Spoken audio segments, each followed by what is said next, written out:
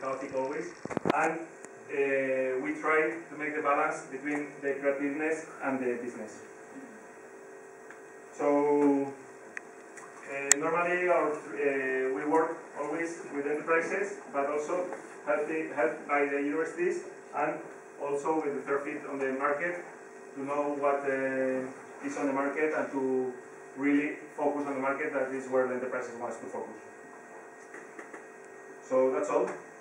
Here is my email and my telephone if you need whatever from me.